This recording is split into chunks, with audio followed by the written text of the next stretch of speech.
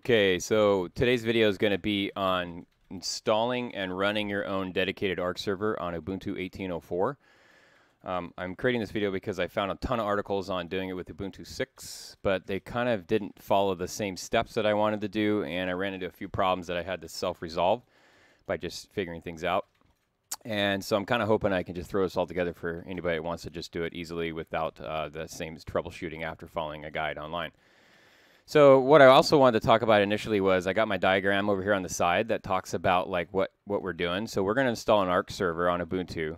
And then what we need to do is there's a couple other steps. One, we have to open up firewall ports so that you can, your outside friends can actually talk to that, uh, that um, ARK server. So this, this is called either, in the, in the network world, is called NAT, which is Network Address Translation. But on your router device, it's likely referred to as port forwarding.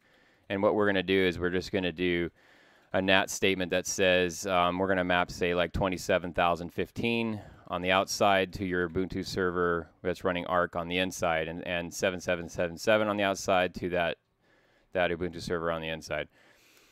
Um, the other thing that happens is when you spin up your ARK server, it actually connects to the Steam and or ARK registry, I guess. I, am not 100% certain on how this works, but it does take a while for your ARK server to register itself so that people can actually see it in the ARK game list. I would say this could easily take up to 15 minutes. So you're going to get your whole ARK server running, and you're not going to see it when you try to join it. You or you internally on the same network, or your friends outside. So just be patient in that space. Um, but let's go ahead and get started. What I've got is a uh, Ubuntu Linux box. It's 1804. It's 64-bit and I've actually got 16 gigs of RAM on this because I've done ARK servers in the past, and, and 8 gigs was kind of like the absolute minimum I think that you need. Some people say in the minimum 6, but man, I, I think your ARK server would suffer if you tried to run it on 6. Mine was suffering on 8, so I'm running it on 16. I happen to have a sizable, uh, it's actually a desktop. It's a it's a workstation desktop, so it's a Dell Precision. I think that's the line. It's an older older box, but it has 128 gigs of RAM on it, and it's running ESXi free license. And so I've got lots of RAM to throw at this ARK server.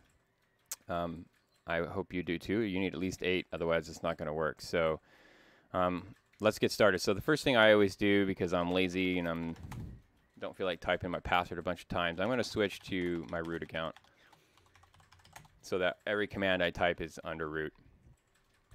Um, there's a couple things I wanted to do. Is first, let's make sure that we're up to date think I updated this already. Maybe I didn't. Hopefully I did. Uh, well, it's okay. It's a pretty re recent release, so I don't think it'll take too long to go through these. And then there's a couple more steps we need to do. We need to install some um, repositories. I guess Steam is actually a 32 or uses 32-bit stuff, so we're going to have to look. I got that in there twice. I guess I don't need that twice. I'm to delete this. Um, we're going to install some of this next, and um, to be honest with you, I, I don't I don't know what multiverse is. I'm not a, a again I'm not a Linux guy, so I don't know what that means. Um, we're also adding architecture i386, which would be 32-bit, and then we're updating the the installer repository like caching on your client on your server rather, and then we're going to go ahead and install this GCC 32. I guess that's the 32-bit version of GCC compiler, and then we're going to install Steam command through through a repository instead of through a download um, gzip file. So, um, so that up update is done. So let's go ahead and add the multiverse. Already enabled. Okay, so I didn't even have to do that. So then I want to add architecture 32-bit, and then we'll run an update. And it's probably going to take a little bit of time. I think it has to go through a few more of these. Yeah, so the last time it ran this specific thing, it was up here. And you can see it was only like six, and now we just went through 18 of them. So now we're going to install this library. Yes, I do. And then I'm going to install Steam command. And this one I think actually prompts you while it's in the middle of the installer. Agreeing to some license. I'm going to say I agree. Sorry, my nose is kind of running. Uh, there's some settings for performance that people recommend, so we're just going to start adding those right now. And one of those is setting max file settings and I'm setting them to 100,000. Honestly, I'm not sure what the what the default is on that. I don't know any if it's anywhere near that, but that's what we're going to set it to. We're also going to set soft ulimits for and hard ulimits for for uh, excuse me file ulimits for soft and hard files. I guess I should put this like in here so it looks a little better. I'm going to copy paste these. So basically it's just a wildcard, 100,000 for each of those. And then I'm not 100% certain that you have to type the ulimit in 100,000, but we're going to do it anyways. Can't imagine it's that big of a deal. So one of the things we're going to do too is I'm going to create a, a, user account called Steam. Um, I'm assigning my, mine a password so I can log in as it. I would highly recommend you not use a cheesy password like that. It's a pretty weak password. So but for this demonstration, we'll just do that. So it's user add create home. It's going to create a home folder for it by default. I'll put it that under slash home. And then I'm going to define a shell bin bash. I'm going to set the password and then username is Steam. So now if you do an ls home, you can see there's a Steam there. And then let's do it LA so you can see the permissions. It's already assigned to Steam Steam user group. Um, so I'm going to switch now to the Steam user. And so now you can see the prompt has changed and I'm logged into Steam. I'm going to create a, a link here for the Steam command to be under. So my present directory is the home directory for Steam. And I'm going to create a link to the Steam command to the root of my um, home folder for Steam. So now you can see Steam command is here. So now I can reference Steam command directly from here. Um, the next step I'm going to do is it's actually going to install the ARK server components. This takes a decent amount of time, so I'm going to go ahead and run this. And um, I was thinking of letting it sit here and let you guys watch. I don't know because it's actually quite the time. Like this is a small piece of it. Once it starts downloading the large ARK, I think ARK is, you know, it's like one or 10 gigs. I don't remember. We'll, we'll look at the, the file size in a second. It'll actually show you. It's pretty sizable. So if your internet connection is pretty slow, this will actually take some time to go through this. So this is just updating the Steam client, I believe. Now that we've done that, we're going to connect into probably what this, I would imagine this is like a Steam repository for installing the Steam games. So one of the things I did, though, let me explain this command a little bit. We're logging anonymously, so I'm not providing any credentials to Steam. I'm also forcing an installer. I want to make sure that the ARK server is installed under my home profile for Steam, and then it's under the ARK server folder.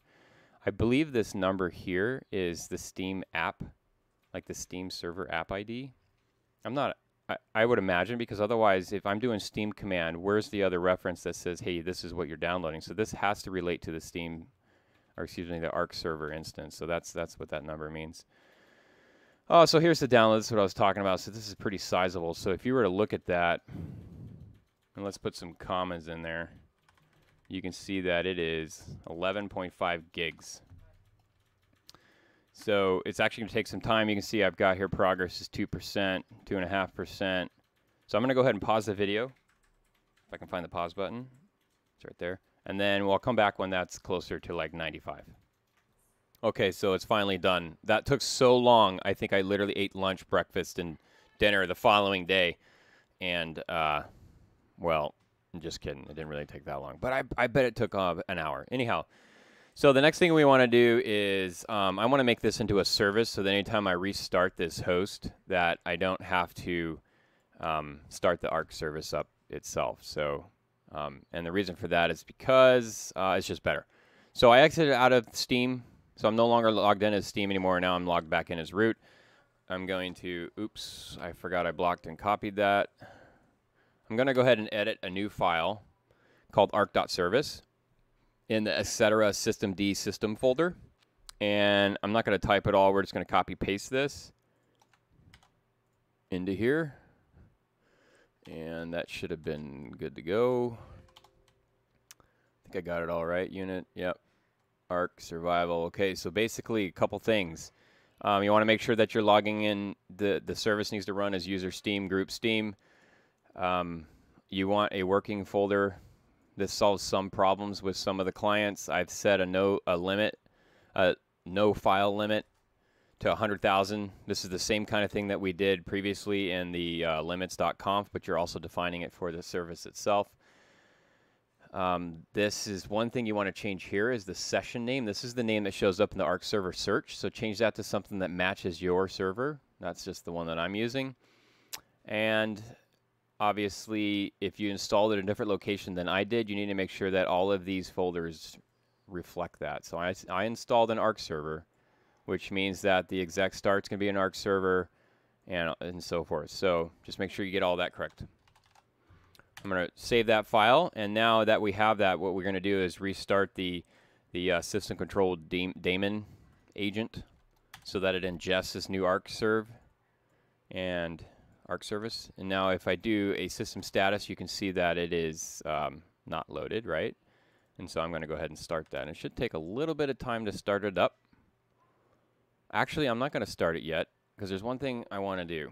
We're going to, as a last step here, I'm going to configure the uh, game user settings.ini new directory. Uh, you know why? It's because I haven't started the game, so that's why. So you got to start. You got to start it first. So let's go back. I retract that. I'm going to start it, and um, basically, then once it starts once, it should create that file, the settings file. Um, I read a bunch of things online that talked about this this particular API fail, and some people are saying it's related to your ulimits. Other people are saying it's related to like a firewall. Um, I think in this case, I'm running this on Linux. There literally is no Steam client, so I don't know. It, doesn't. It didn't affect me. So I successfully got this running. Still had this error, and I was able to connect to my own ARK server. So if you can't connect your own ARK server after waiting 15 minutes for it to show up in the registry, then maybe maybe it would be a good idea to uh, go down some of those paths that people talk about in Google. But I think for the most part, this is not an issue as long as you got the ulimit and your firewall settings are good. So now that I got that running, though, I'm going to stop ARK service. And let's just make sure that it's not running. Stopped. Perfect. Now let's go edit this game settings. And so now you can see it's here. So it created this on the first run. So what I want to do, though, is I don't want just anybody showing up on my server. So I am going to set a password. Server admin password. So this is like in case you want to cheat. Um, I'm not going to leave them that, so don't think you're going to join my game based off of that. okay, so now that I got those set, I'm literally going to start it. Start ARK. And give it a second. And now let's see the status. And you can see that it is currently running. Perfect. Okay, so keep in mind your next steps are the NAT port forwarding rules that you need to do. Um, I got a couple of them listed here. These are the these are the numbers that I've seen online. To be honest with you, the only ones that I forwarded today, and it works for me. I mean, again, it's kind of clunky. I, I, it's hard to tell, right? Because it takes forever for the thing to show up in ARK, so it makes you wonder, like, did I not do it right? But these are literally the only two that I port forwarded for my instance, and I was able to connect to it from my computers in my house.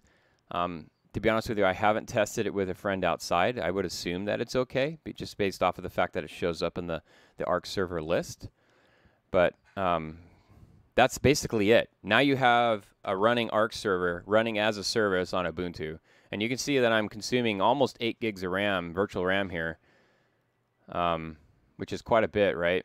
It's consuming a lot. So let's load up ARK. I already had it running. I'm going to try to see if I can do a join and see if it shows up. So I've got it. So a couple things when you search for it, you first need to say server session is unofficial. You also need to say show password protected. By default, it will not. So check both of those. And then up at the top, type in the name of your instance that you defined on the start script. So if you forgot what that looks like, that was in the service itself. So that's vi etc systemd system arc dot service literally right here session name reflects what you should see here.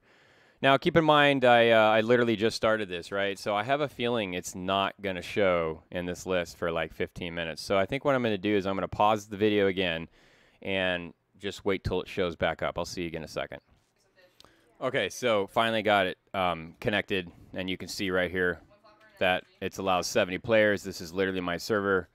And if I were to join this, it would literally log in and join the uh, server that we just stood up. So again, I've only port mapped or port forwarded rather nat natted these two ports. So I don't think you need to do more than that unless you're adding other things like Archon or something.